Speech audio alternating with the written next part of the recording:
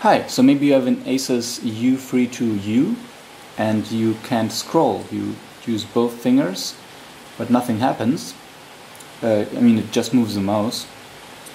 And I figured out which driver you have to use to install because the modern uh, Synaptic driver doesn't work and there's nothing available from Asus. So to enable this two finger scrolling, you need to download the Synaptics Touchpad 16.3.9.0 driver. And you have a bunch of stuff in here and you just find the setup exe file and install it. And then this icon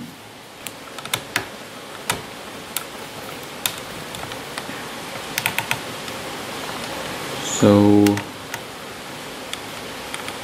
you just have to run this file and then you will have this icon, right?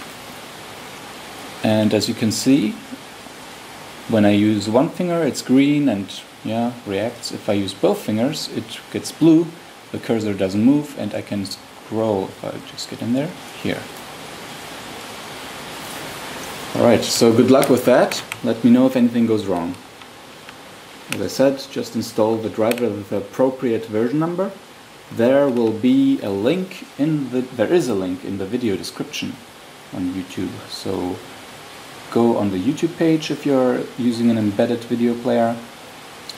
Um, and you know go into the description click show more and download the driver.